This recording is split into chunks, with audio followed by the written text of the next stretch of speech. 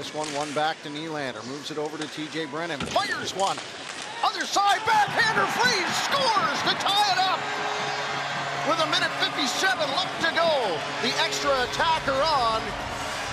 And the Toronto Marlies have tied things up with less than two minutes to go here in a period in which they just kept firing in puck after puck at Yann.